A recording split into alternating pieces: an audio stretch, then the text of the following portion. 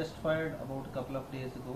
Uh, what uh, what were the snags in it? Uh, Basically, the missile, as you know, Nirbhay has been flight tested earlier and it has been successfully completed. All its uh, development trials it has gone through. And we only wanted to increase the indigenous content in that and by incorporating many things, uh, including the engine and various other things. And so the missile actually gone off uh, very well. It took off very well, uh, the separations and many other things. And engine also started uh, functioning very well.